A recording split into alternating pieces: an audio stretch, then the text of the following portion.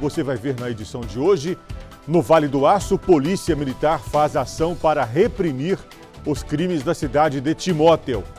Ainda na região, comando da Polícia Militar lança Operação Férias Seguras. 12ª Região de Polícia Militar, com sede em Ipatinga, está com efetivo reforçado para atuar nas ruas. Mulher é morta a tiros em Mucuri, no estado da Bahia. A vítima tinha 52 anos e era da cidade de Carlos Chagas. O filho dela também foi atingido pelos disparos. E o MG Record também vai falar do período chuvoso.